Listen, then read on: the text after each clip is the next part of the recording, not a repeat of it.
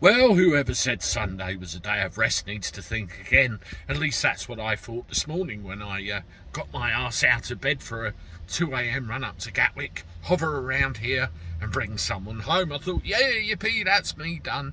And then I get a phone call.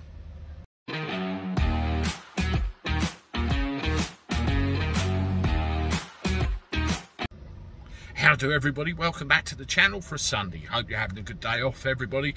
I was supposed to be having a day off too, but uh, I'm at Gatwick again. Uh, have a look out there. You can see it's uh, quite sunny, quite sunny. Yes, yes, well, I shouldn't be here. I should be in the back garden with a bottle of San Miguel in my hand, sunning it and doing sweet fuck all like everybody else. But I had a colleague of mine this morning ring me and he said, you know that job that I was going to do for you this afternoon, Mr. Gabby Cabby, sir? Well, I can't my car's fucked. Yes, another fucked car. Uh, so you add the two together that I've got, and then you add the other one that he's got. That's three fucked cars over the course of one weekend. So, of course, the way things are at the moment, couldn't get anyone to cover this job, could I? So I had to come back up here myself. You can't make it up. You can't make it up.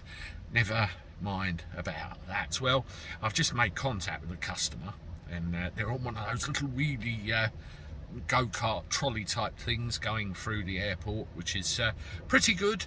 And hopefully I'll be away from here soon. This is a check-in as well. Let me know in the comments below that you're having a good Sunday and everything's uh, all right for you and uh, the weather's nice and you're chilling and hope not too many people are at work as well. And uh, I'm gonna go now because I need to keep the lighting clear. I'll see you soon. Toodaloo